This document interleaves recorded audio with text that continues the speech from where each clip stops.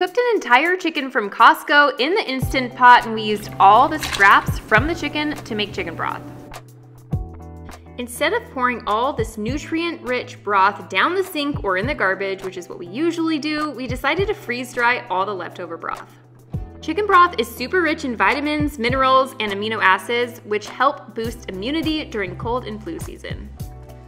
It also contains collagen, which is beneficial for joint health and promotes glowing skin, hair, and nails.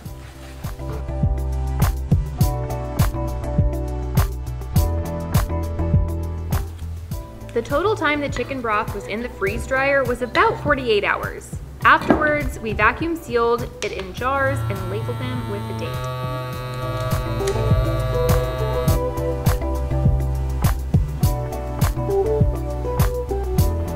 We ended up filling up four freeze dryer trays with the broth, and we ended up with 34 ounces of freeze dried organic chicken broth. So we always like to do a price comparison, and our cost for this freeze dried chicken broth was virtually free because we were just using scraps. And this is how much we found organic freeze dried chicken broth for online.